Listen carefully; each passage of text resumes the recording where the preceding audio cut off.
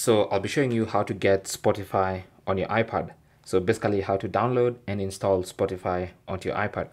So what you want to do is go to the Apple App Store, which is available on every iPad.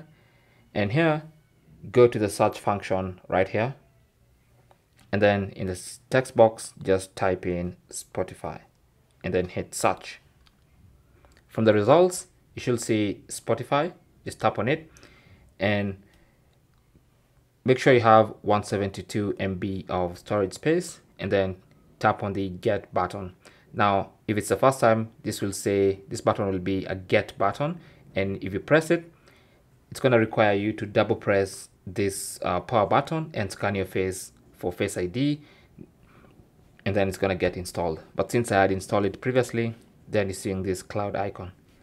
So either way, tap on that and you should get Spotify downloaded and installed onto your iPad.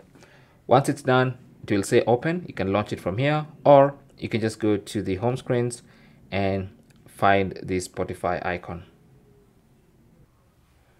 So tap on it to launch it.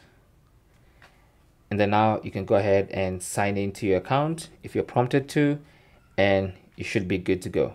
Okay, so this is uh, the Spotify application and now you can now use it on your iPad with some Bluetooth headphones or AirPods. Thanks for watching. Comments and questions down below and good luck.